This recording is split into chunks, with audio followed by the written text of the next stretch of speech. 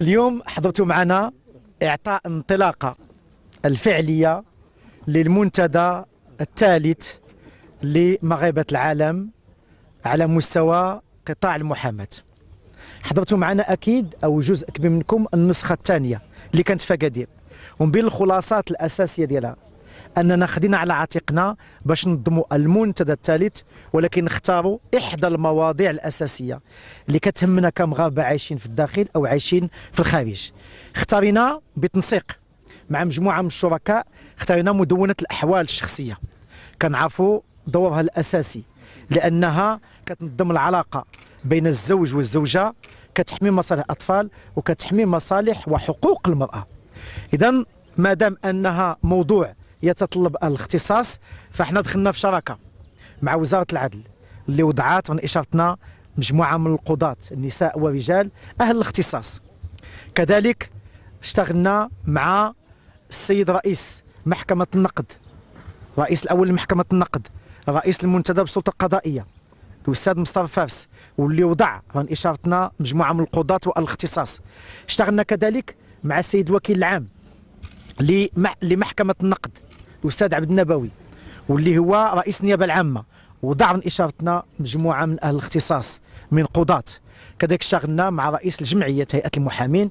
ما دام أن الجمعية في المكتب ديالها كاين 17 نقيب اللي هما مجموع الهيئات ديال المغرب.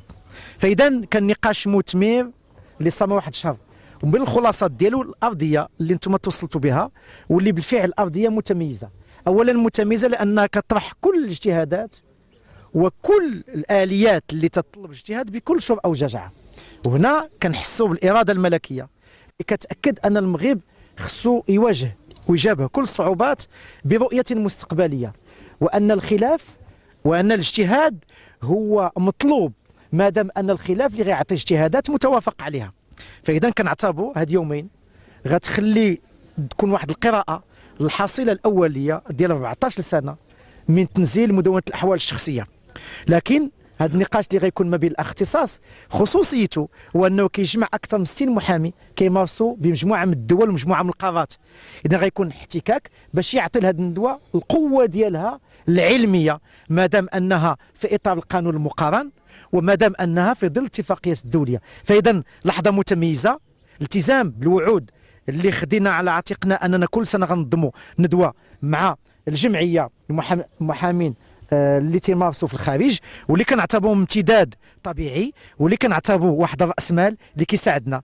اولا في الاحتكاك بالمرجعيات القانونية على المستوى الكوني وفي نفس الوقت يكونوا حاضرين بثقلهم في كل الاصلاحات الكبرى في كل الاجتهادات ما دام أنهم كيحظوا بالأولوية في التوجهات الملكية هما رأس مال أساسي. وبالتالي هنا كنترجم جميع الإرادة الملكية باش المغرب في كل القطاعات يهيئ راسه باش يحت المكان اللي كيستحقها على المستوى الكوني. بالنسبة لأطراف كثيرة من المجتمع المغربي ولا سيما فيما يسمى بالمغرب العميق في البوادي حيث لا يقدم الأشخاص على توثيق زيجاتهم في الوقت المناسب.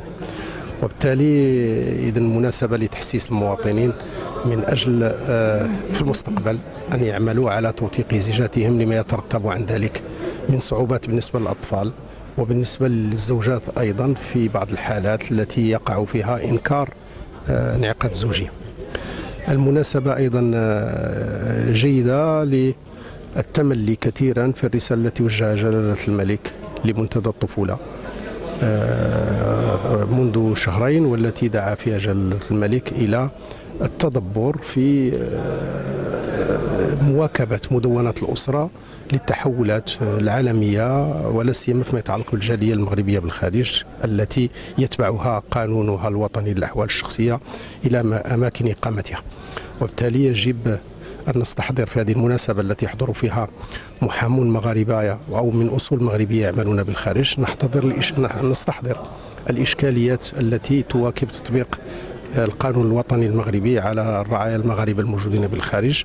من أجل إيجاد حلول لها سواء في إطار التشريع أو في إطار العمل القضائي.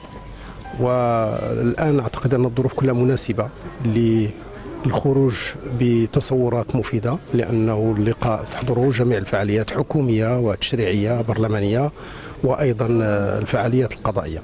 وهو ما يؤهل الحاضرين لإصدار توصيات وبلورة أفكار تسمح بالتطبيق السليم لمدونة الأسرة سواء في الداخل أو في الخارج أو لمزيد من تطويره تشريعيا إن اقتضى الأمر. ذلك إن شاء الله.